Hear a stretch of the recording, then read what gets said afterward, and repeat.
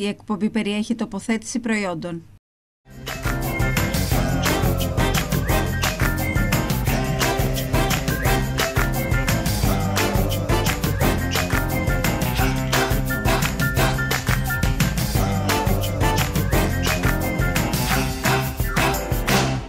Φίλες και φίλοι, γεια σας. Σας καλωσορίζω σε μια καινούργια εκπομπή μαγειρικής ταξίδι γεύσεων και πάλι μαζί εδώ στο Plus TV.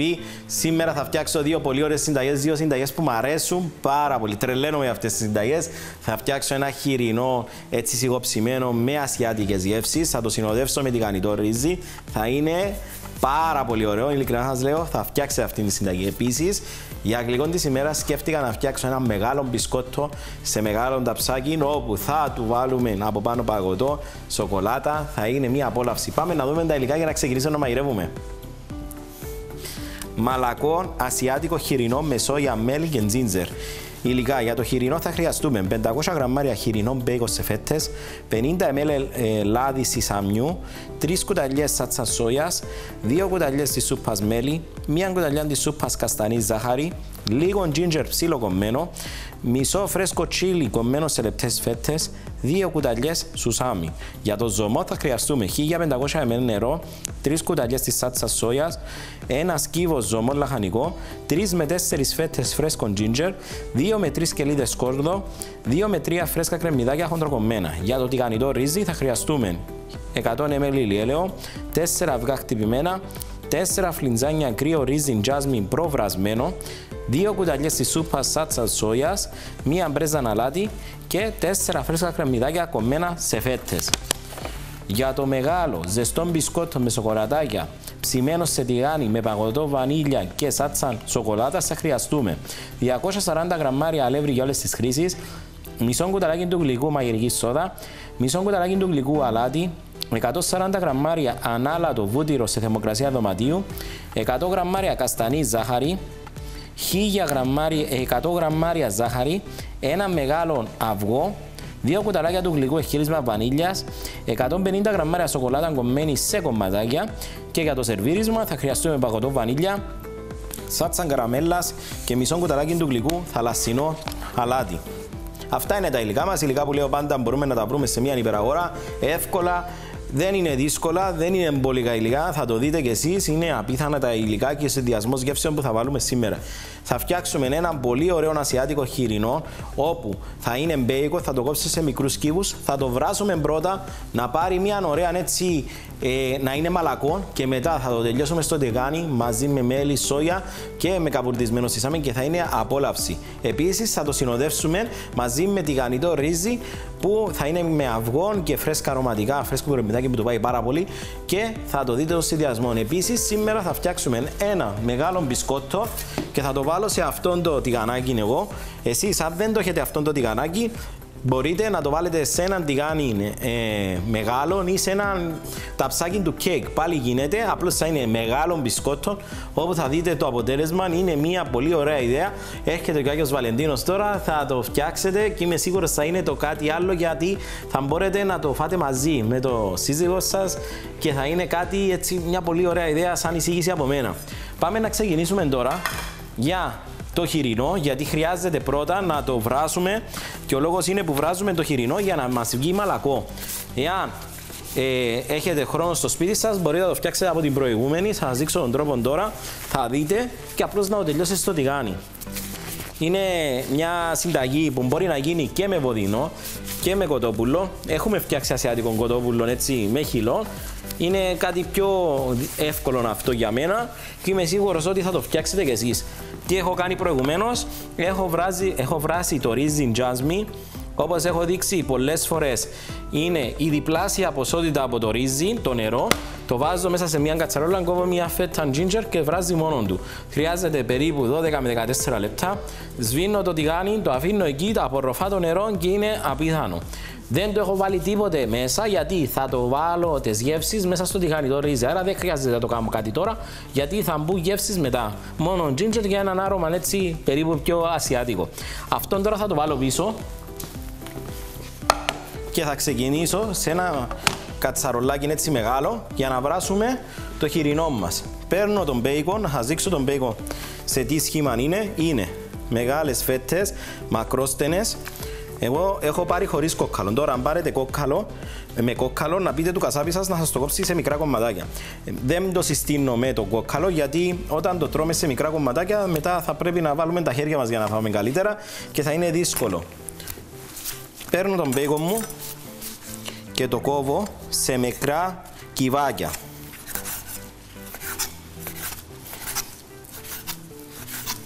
Θα προσπαθήσετε να πάρετε μπέικον να μην έχει πολύ λίπος έτσι ώστε να έχει και κρέας για να το κάνει πολύ πιο ωραίο. Φανταστείτε αυτόν τον μπέικον πρώτα θα το βράσουμε και μετά θα το ψήσουμε στο τηγάνι θα το, έτσι για να πάρει αυτόν το, το ωραίο το, τη γεύση και θα είναι και μαλάκο. Θα του βάλουμε ασιάτικες γεύσεις. Είναι έτσι μια ασιάτικη συνταγή εύκολη. Όσο πιο μικρά κομματάκια το κόψετε, τόσο πιο εύκολα θα ψηθεί. Βάζω τον μπέικον μέσα σε μια, στο κατσαρολάκι που σας έχω πει. Να κόψω και το υπόλοιπο φυσικά. Γιατί τα παιδιά εδώ θα φάνε. Κόβω έτσι. Είναι και πολύ μαλακό, το καταλάβω όταν το κόβω έτσι με το μαχαίρι μου. Τώρα θέλετε μπορείτε μια εισήγηση να πάρετε κομμένο χοιρινό που υπάρχει στα κρεοπολία για το σουβλάκι αλλά αν θέλετε να δημιουργήσετε όπως κάνω και εγώ μπορείτε να το πάρετε έτσι όπως είναι σε φέτες χωρίς κόκκαλο και να το κόψετε σε μακρόστενες λωρίδες. Είναι μια συνταγή όπως σας έχω δώσει για τέσσερις μερίδες μην το βλέπετε λίγο το χοιρινό, θα είναι συνδυασμός με τηγανιτό ρύζι. Βγάζω τα γάντια και θα βάλω να καλύψω το κρέας μου με νερό. Θα βάλω ένα ζωμό λαχανικό και θα το ανάψω τώρα και θα το ψήσουμε για περίπου μισή ώρα. Ο λόγος είναι όταν βράζουμε κάτι βοηθάμε για να είναι πιο μαλακό. Άρα με αυτόν τον τρόπο εγώ θα το κάνω, θα βράσει, θα μου βγάλει αρώματα και θα γίνει πολύ ωραίο. Θα βάλω μία φέτα έτσι μεγάλη ginger και θα την κόψω στη μέση για να μου δώσει και ωραίο άρωμα και να φύγει αυτό που μυρίζει έντονα το χοιρινό. Και επίσης θα βάλω και δύο σκελίδες κόρδο όπου θα τις σπάσω έτσι με το μαχαίρι μου έτσι να σπάσουν καλά και θα τις πάρω και θα τις ρίξω μέσα στο ζωμό μου. Επίσης, για να το κάνουμε λίγο πιο ασιάτικο, θα του βάλουμε και λίγη σόγια. Η σόγια θα μας κάνει έτσι πολύ πιο ασιάτικες τις γεύσεις μας.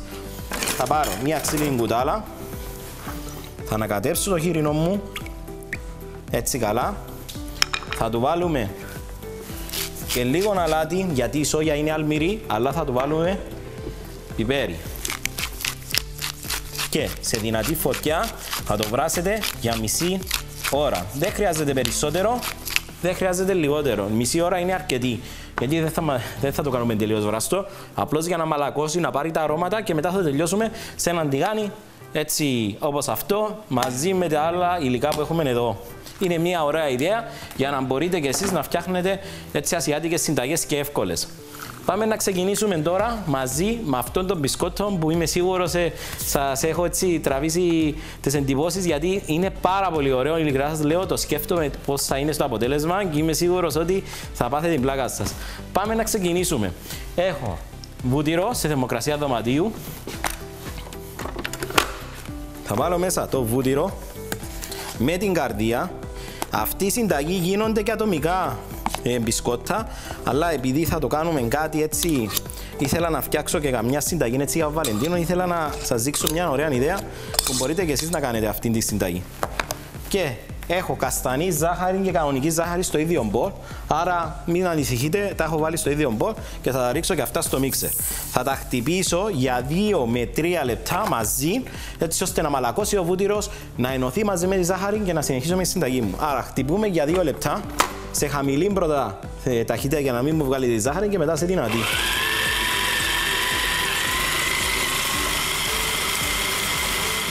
Αφού έχουμε χτυπήσει για 2 με 3 λεπτά στο μίξερ μας και έχει βγει μια ωραία έτσι μάζα, έχει ενωθεί ο βούτυρος μαζί με ζάχαρη, θα βάλουμε μέσα στο μίξερ μας βανίλια, χείλισμα βανίλια πάντα χρησιμοποιώ, θα το ρίξω μέσα. Θα ρίξω μέσα και το αυγό, έναν αυγό και επίσης θα βάλω το αλεύρι μαζί με τη σόδα και μία μπρέζα αλάτι. Τώρα, αυτά θα τα χτυπήσω για ακόμη 2 με 3 λεπτά έτσι ώστε να γίνει μια ωραία ζύμη μαλακιά. Άρα χτυπάμε για ακόμη 2-3 λεπτά με, τα, με την καρδία μπάλε και θα πούμε πίσω. Αφού έχουμε χτυπήσει όλα τα υλικά μας, πάμε να δούμε πώς είναι το μείγμα. Ένα πάρα πολύ ωραίο έτσι δεμένο ζυμαράκι που έχει μέσα όλα τα υλικά της συνταγής, αλλά τα σοκολατάκια δεν τα έχω βάλει ακόμα. Τι θα κάνουμε τώρα; Αφαιρώ τον κάδο από το μίξερ, παίρνω το κουτάλι μου, γιατί έχει κολλήσει όλο στην καρδιά και δεν θα πετάξω τίποτα. Με αυτόν τον τρόπο βγάζω όλα από την καρδιά και στον ίδιο κάδο θα ρίξουμε μέσα τα σοκολατάκια. Σοκολατάκια θα βάλετε αυτά που είναι σε μικρά κομματάκια. Αν δεν τα βρίσκετε αυτά, μπορείτε να βάλετε τα σοκολατάκια, μία σοκολατάκια και κόψετε σε κομματάκια.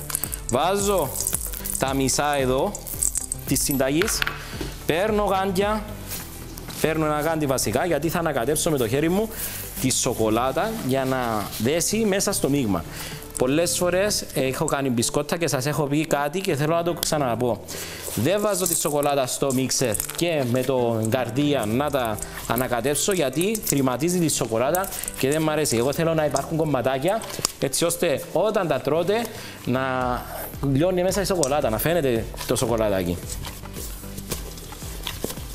Λοιπόν, τώρα το ζυμαράκι μας είναι έτσι, να το δείξουμε αυτό. Ένα απίθανο ζυμαράκι, πάρα πολύ ωραίο. Αυτό που σας έχω πει και προηγουμένως, πολύ σημαντικό, αν δεν σας αρέσει το μεγάλο μπισκάτ, το μπισκότο μπορείτε με αυτήν τη συνταγή να φτιάξετε και μικρά. Τι θα κάνουμε τώρα; Παίρνουμε αυτό το ταψάκι, Όπως έχω πει, μπορείτε να πάρετε φόρμα του κέικ εσείς, δεν υπάρχει πρόβλημα, και να βάλετε ε, το κέικ, το μπισκότο σας. Τι θα κάνουμε τώρα, βάζουμε τη ζύμη μας, πιέζουμε έτσι σιγά σιγά να πάει παντού. Φανταστείτε ένα μεγάλο μπισκότο έτσι στη μέση του τραπεζιού σας και από πάνω παγωτό βανίλια σάτσας σοκολάτας τι πρόκειται να γίνει. Απολαύσει θα το τρώτε κάθε μέρα φυσικά. Τι κάνουμε τώρα, τα υπόλοιπα τα βάζω έτσι από πάνω. Πώς ψήνουμε αυτόν το υπέροχο κέικ στους 180 βαθμούς για 22 με 25 λεπτά. Θα το δείτε τώρα, είναι μια υπερπαραγωγή. Τέλειο. Εάν θέλετε να κάνετε ατομικά με αυτήν τη ζύμη, μπαλίτσες 35 γραμμάρια, τη βάζετε στο ταψάκι σας και πάλι θα λιώσει και θα γίνει μια κόλαση. Επίσης, κάτι που μου αρέσει με τη σοκολάτα, θαλασσινό αλάτι, θα βάλω λίγο από πάνω. Λίγο από πάνω, έτσι, με αυτόν τον τρόπο θα μας δώσει αυτήν την αλμύρα που πάει πολύ με το γλυκό. Είναι μια απόλαυση έτσι, θα σπάσει το αλάτι μαζί με σοκολάτα και είναι τέλειος ο μας. Έχω βάλει μια μπρέζα έτσι για να δείτε το αποτέλεσμα. Δοκιμάστε το και εσείς. Αν δεν βάζετε λίγο αλάτι σε αυτήν τις συνταγές, βάλτε λίγο από πάνω και θα με θυμάστε. Το βάζω στο φούρνο μου για 22 λεπτά με 25. Θα το δω πόσο έχει φουσκώσει και θα το δείτε μετά και θα πείτε και εσείς το τρελαίνομαι. Λοιπόν, συνεχίζουμε εδώ. Πάμε να δούμε τι έχουμε κάνει με το χοιρινό μέχρι στιγμής. Ήδη ξεκίνησε και βράζει. Έτσι ωραία. Έχει βγάλει πάρα πολύ ωραία αρώματα. Και θα συνεχίσουμε τώρα με τη συνταγή μας. Να φύγω τη σοκολάτα να βάλω πίσω. Και σε ένα μπολ θα βάλουμε τη σόγια το μέλι. Αυτή θα είναι η σάτσα μας που θα ανακατέψουμε το χοιρινό όταν θα το ψήσουμε να μαλακώσει. Το μέλι. Να βάλετε καλή σπουδαιάς μέλι. Την καστανή ζάχαρη. Θα ανακατέψω έτσι στην αρχή. Να δέσει αυτό το μείγμα. Και λίγο καβουρδισμένο σουσάμι. Το υπόλοιπο θα το βάλω στο τέλος, έτσι να υπάρχει και λίγο καπουρδισμένο στη σάμι να πιθανό. ανακατεύω έτσι να διαλυθεί το μέλι μέσα σε αυτό το μείγμα και φανταστείτε ότι θα σοτάρω το χοιρινό μου, το βραστό μετά στο τηγάνι και θα του βάλω αυτήν τη σάτς. Άρα φανταστείτε τι γεύση θα έχει. Τι θα κάνουμε τώρα, θα ξεκινήσουμε με το τηγανιτό ρύζι. Θα το βάλουμε στη φωτιά, έναν τηγάνι, να το ανάψουμε πρώτα. Πρέπει να είναι ζεστό. Να φύγω το σανίδι μου που έχω κόψει το χοιρινό μου. Θα βάλω έναν καινούριο. Και τι θα κάνουμε; Θα βάλουμε λίγο λάδι σόγιας. Το βάλω και λίγο πίσω αυτό για να βλέπετε καλύτερα. Λίγο ελαιόλαδο ή ηλιέλαιο αν θέλετε εσείς. Μένα μου αρέσει να μαγειρεύω με ελαιόλαδο. Θα το βάλω σε δυνατή φωτιά έτσι να βράσει, να ζεσταθεί και θα πάω εγώ στον κήπο μου όπου θα πάρω δύο κλωναράκια φρέσκο κρεμμυδάκι και θα τα κόψω σε λοξές έτσι διαγώνιες λωρίδες. Τα κόβω και αυτόν έτσι. Αυτόν πάντα το μέρος του κρεμμυδιού το πράσινο μέρος το αφήνω στο τέλος. Μ' αρέσει μέσα στα ασιάτικα μου φαγητά να το βάζω στο τέλος έτσι σε ψιλοκομμένο. Δεν μ' αρέσει να το ψήνω γιατί μαυρίζει, ενώ αυτό που θέλω τώρα θέλω τη βάση του κρεμμυδιού για να μου δώσει γεύση. Τι κάνουμε τώρα, ρίχνω το κρεμμύδι μου μέσα στο τηγάνι, θα σπάσω και μια σκελίδα σκόρδο Πάντα όταν τη σπάμε, ο σκόρδος μας βγάζει γλυκάδα και τη ψιλοκόβω. Κοφτερό μαχαίρι, καλό. Και με αυτόν τον τρόπο, όταν ψιλοκόψετε το σκόρδος σας, δεν θα τρώτε και να κολλάει στο δόντι και να λέτε ότι είναι ε, έντονος ο σκόρδος. Αφήνουμε το κρεμμύδι μας μαζί με το σκόρδο να βγάλει αρώματα και έχω τέσσερα αυγά. Τα έχω βάλει σε αυτόν τον μπολ πολύ σημαντικό να σπάμε τα αυγά μας πριν, να τα βλέπουμε να είναι καλά και μετά να σπάμε να τα βάλουμε στο τηγάνι. Ε, είναι ωραία ιδέα να τα βάζετε σε ένα μπολ και μετά τα ρίχνετε μέσα έτσι για να βλέπετε το αυγό σας ότι είναι καλό και φρέσκο. Και όταν ψηθεί το κρεμμύδι και ο σκόρδος, δεν θέλουμε να βάλει ψηθεί αυτό το μείγμα γιατί θα βάλουμε και το ρύζι. Κοιτάξτε τι θα κάνω. Με τη ξύλινη κουτάλα θα τα βάλω τα υλικά μου, θα το δείξω και έτσι, στη μία μεριά γιατί το λάδι έχει πάρει άρωμα τώρα από σκόρδο και κρεμμύδι και θα ρίξω τα αυγά μου στην άλλη μεριά. Θα φτιάξουμε τηγανιτό ρύζι, άρα θα υπάρχει, ο, ο τρόπος αυτός που σας δείχνω είναι για να μην ανακατεύω τα υλικά μαζί και να μην χάνονται τα αυγά, να φαίνονται τα αυγά όταν το ψήνουμε. Άρα με αυτόν τον τρόπο θα βοηθήσει να φαίνονται τα αυγά και το κρεμμύδι να είναι ξεχωριστά. Μπράβο κύριε σκηνοθέτα, τρελαίνομαι μαζί σου, μαθαίνεις. Σίγουρα αν είχαμε ένα γοκ έτσι λεπτών, ασιάτικων, έτσι τηγάνι, θα κάναμε καλύτερα τη δουλειά μας. Αλλά οι περισσότεροι επειδή στο σπίτι σας δεν έχετε γοκ, ήθελα να δείξω κύριε σκηνοθέτα όπως και σένα, ότι και με έναν κανονικό τηγάνι μπορείτε να κάνετε τη δουλειά σας. Τώρα, θα πάρω έναν τρυπητό, αφού περάσει μισή ώρα για το χοιρινό και θα τα δείξω τώρα, αφού το έχουμε βράσει για μισή ώρα, θα το αφαιρέσουμε για να δείτε το αποτέλεσμα. Έχω εδώ την κουτάλα μου, συγγνώμη. Παίρνουμε το χοιρινό, το αρωματισμένο και το βάζουμε σε ένα τρυπητό. Άρα αυτό που ήθελα με βοήθησε, μου έδωσε τι ε, έχει μαλακώσει μέσα στο νερό. Αυτός είναι ζωμός τώρα που έχω. Ας πούμε, έχουμε φτιάξει συνταγή με noodles, έτσι με ramen noodles αυτός ο ζωμός τώρα μπορεί να βάλετε μέσα noodles και να φτιάξετε και τη σούπα σα αν θέλετε.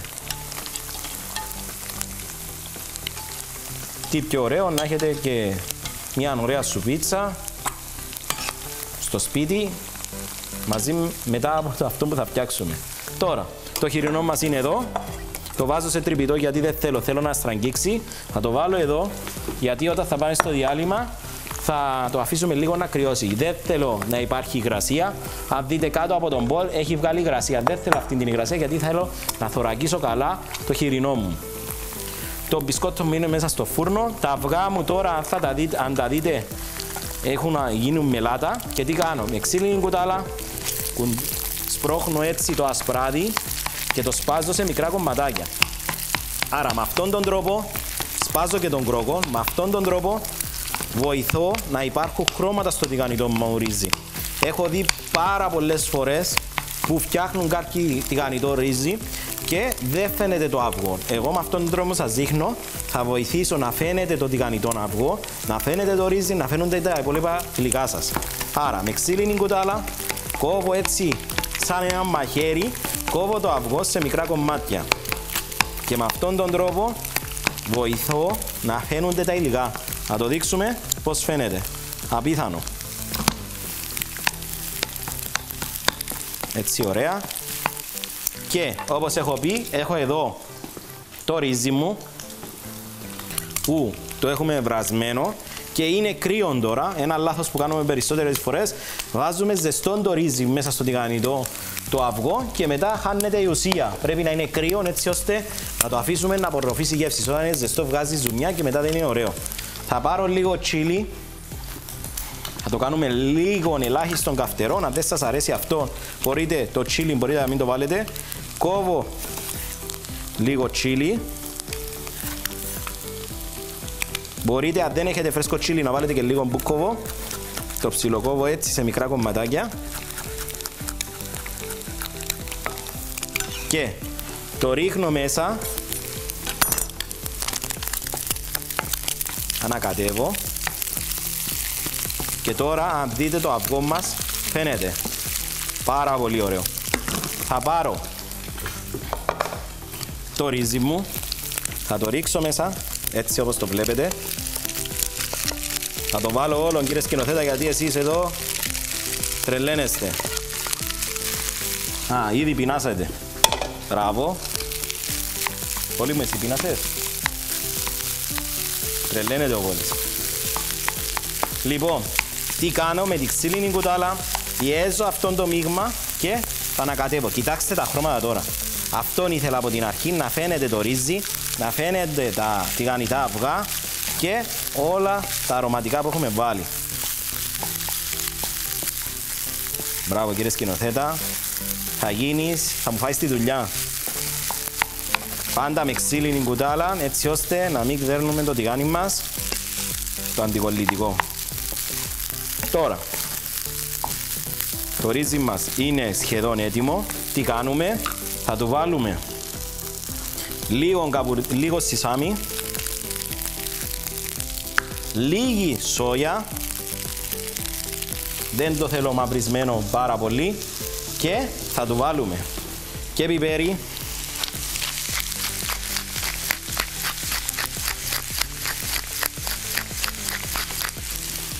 και αλάτι.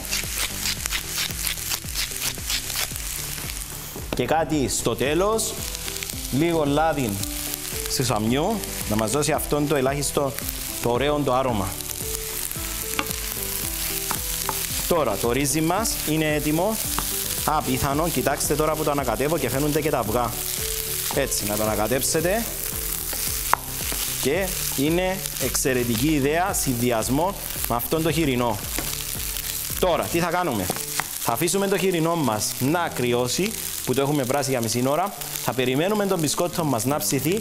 Θα σβήσω το τηγάνι μου με το τηγανιτό ρύζι που σας έχω δείξει. Θα πάει σε ένα διαφημιστικό, θα έρθουμε πίσω για να τελειώσουμε με το χοιρινό. Να δείτε και αυτόν τον μπισκότο, την υπερπαραγωγή και να στήσουμε και τα πιάτα μας.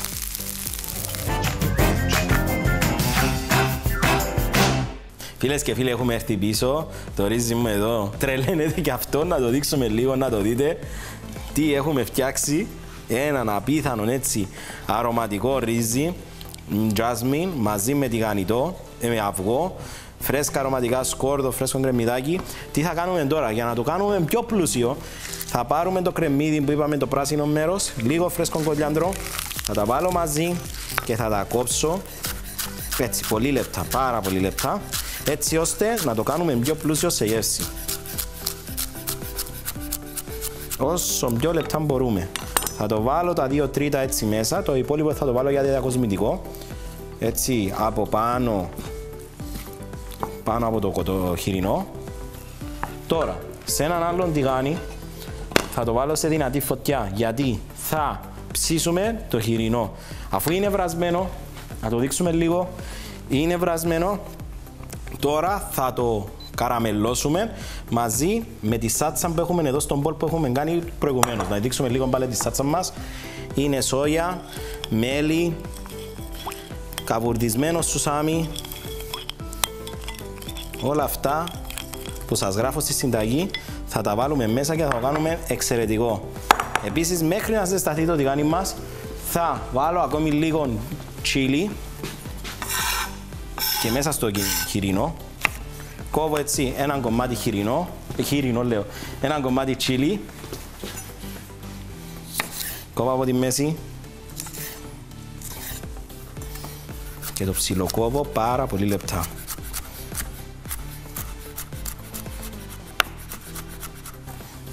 Τώρα, στο τηγάνι μου ρίχνω μέσα το σογέλαιο ή με λίγο σισάμο λέω, θα του κάνει πάρα πολύ ωραίο. Το αφήνουμε να ζεσταθεί, το τηγάνι μου είναι ζεστό ήδη. Παίρνω μια καινούργια ξύλινη κουτάλα και ρίχνω στο τηγάνι μου το χοιρινό, πρέπει να ακούγεται αυτός ο ήχος γιατί τώρα θα το θωρακίσω, θα του δώσω αυτήν τη γεύση την καραμελωμένη και ψημένη στο τηγάνι που μας αρέσει όλους. Θα το αφήσω εκεί, δεν θα κάνω τίποτα άλλο. Θα περιμένω ένα λεπτό και μετά θα το γυρίσω. Μέχρι να περιμένω ένα λεπτό γιατί είμαι σίγουρος περιμένετε να δείτε και το μπισκότο μας. Θα το βγάλω από το φούρνο, θα πάρω ένα ξύλο να το βάλω από κάτω και να βγάλω το μπισκότο που είναι κόλαση. Το λέω, κοιτάξτε, απίθανο μπισκότο υπερπαραγωγή. Αυτόν τον μπισκότο τώρα θα το δείτε κι εσείς πώς είναι, είναι το κάτι άλλο. Θα του βάλουμε παγωτό της επιλογής σας. Εγώ θα βάλω σήμερα παγωτό βανίλια. Θα το αφήσω λίγο να κρυώσει για να μην είναι πολύ ζεστό και να βάλω το παγωτό και να λιώσει πάρα πολύ γιατί θα βγάλουμε και φωτογραφίες και θέλω να φαίνεται το παγωτό.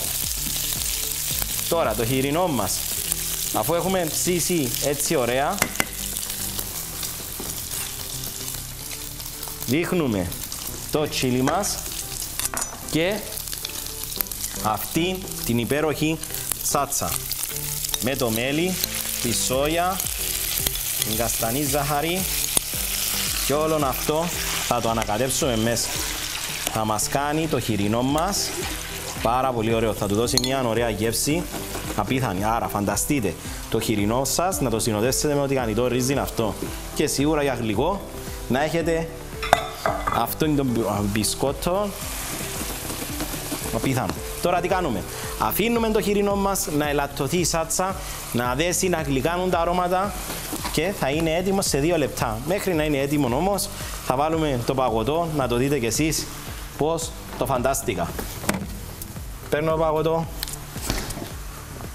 παίρνω το κουτάλι για το παγωτό, το έχω στο νερό και βάζω μία μεγάλη, να βάλω δύο μπάλες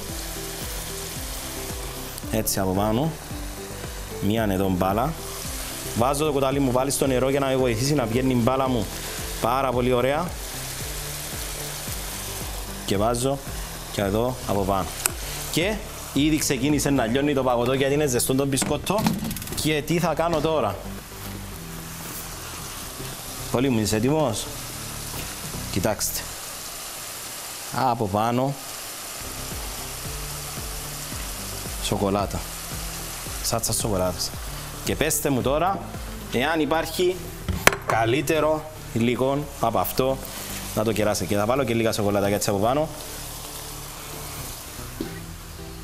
είναι εξαιρετική συνταγή, πανεύκολη συνταγή. Μπορείτε να τη φτιάξετε αυτή. Κοιτάξτε το χοιρινό μας τώρα.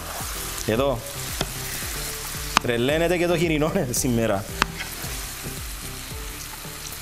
Απίθανο. Τι κάνουμε τώρα; Το χοιρινό μας σε ένα λεπτό θα είναι έτοιμο. Δεν χρειάζεται περισσότερο. Θα του βάλω αλάτι. Θα του δώσουμε γεύση πιπεράκι.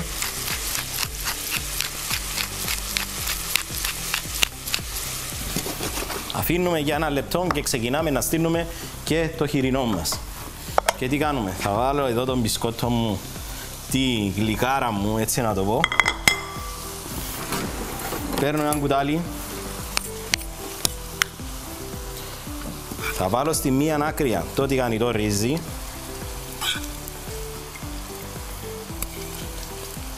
Κοιτάξτε τι ωραίο τηγανιτό ρύζι σας έχω σήμερα.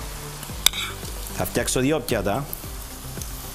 Έτσι για να βλέπετε καλύτερα και τους συνδυασμούς και πώς να στείλετε και τα πιάτα σας αυτά τα ασιάτικα.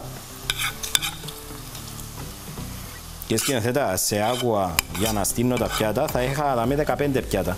Το πρόβλημα είναι ότι πρέπει να βλέπει και ο κόσμος. Λοιπόν, που παρακολουθεί. Λοιπόν, έχουμε βάλει το τηγανιτό ρύζι. Το χοιρινό μας είναι έτοιμο. Είναι πάρα πολύ ωραίο. Κοιτάξτε. Πόσον έχει δέσει με τη σάτσα. Απίθανο. Το βλέπω, τρελαίνομαι. Κόλαση, κόλαση. Και θα βάλω λίγο σουσάμι στο τέλος, έτσι, μέσα στο τηγάνι. Λίγα από τα φρέσκα αρωματικά κρεμμυδάκι και κολιάντρο θα τα ανακατέψω μέσα και θα βάλω στα πιάτα μου αυτό το υπέροχο το χοιρινό.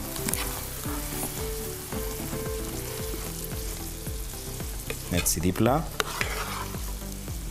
Χοιρινό μπέικο με υπέροχη σάτσαν από μέλι, σόγια και ginger. Ωραίος τρόπος για να μπορείτε να φτιάχνετε αυτό το χοιρινό και εσείς στο σπίτι. Έτσι ασιάτικο, πανεύκολο, γρήγορο, σπιτικό. Να μάθετε και εσείς την ασιατική κουζίνα με εύκολο τρόπο. Θα του βάλω και λίγα έτσι, λίγες φύτρες. Έτσι από πάνω.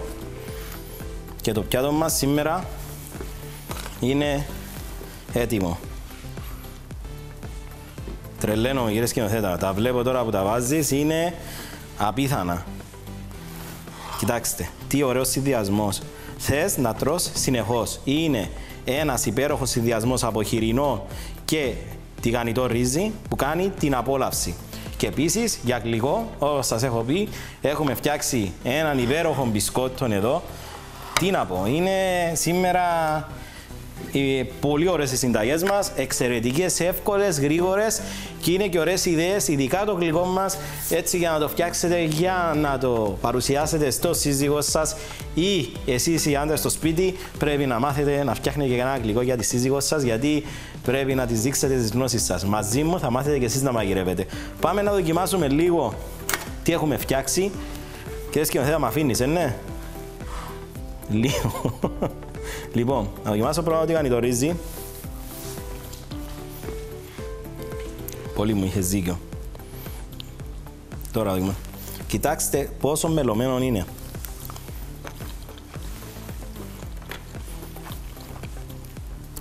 Ελουκούμι κύριε σκηνοθέτα. Ελουκούμι. Να το πω έτσι κυπριακά. Θα δοκιμάσω και λίγο από μπισκότο. Λίγο κύριε σκηνοθέτα, δεν θα λίγο παγωτό. Κοιτάξτε από μέσα. Κοιτάξτε. Τη ζύμη είναι εδώ. Είναι κόλαση.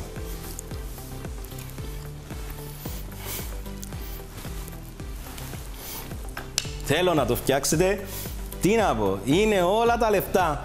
Είναι ένα γλυκό απόλαυση. Τρελαίνομαι μόνο που το λέω.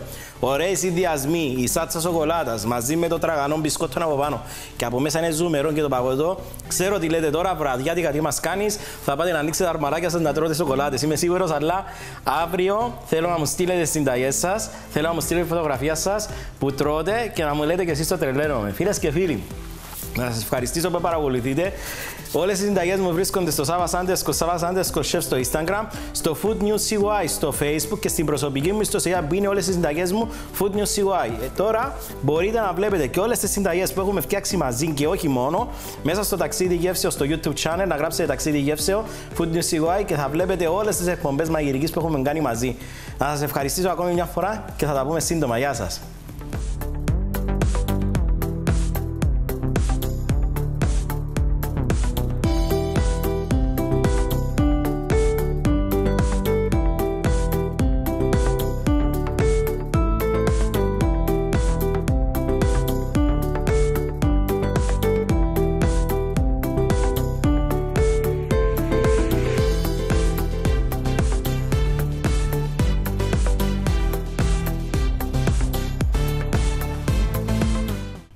Η εκπομπή περιείχε τοποθέτηση προϊόντων.